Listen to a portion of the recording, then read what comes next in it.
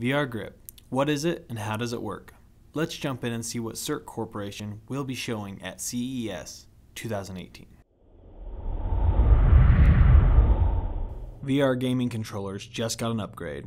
We call it the VR Grip, and it uses proximity sensing on the entire controller. So, in addition to tracking a user's hand and fingers on the controller surface, proximity sensing also tracks finger position in the open space above the controller surface.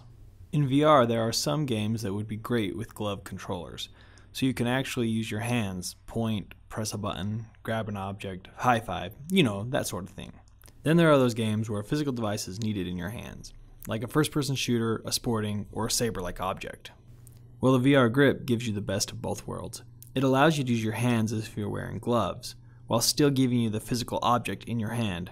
VR grip can sense your fingers as they hover and come in contact with the controller. This demonstration program allows you to see how it's sensing each individual finger and thumb as it gets closer and further away from the surface. This technology uses custom designed flex sensors that can pretty much be fit to any type, size, or shape of controller. Then using our IC chip, we are able to get proximity sensing in multiple areas with one chip. Demo kits will be available for purchase on our website soon. In the link below, you can find out more information about the VR Grip and get in contact with a sales team member with any questions you might have. And again, we'll have some VR grip demos at CES 2018 for our hands on look. If you're there, swing by the Alps Electric booth and see what Alps and Cirque's Technology has to offer. For the most up to date info, please subscribe and follow us on social media. Keep an eye out for our next video.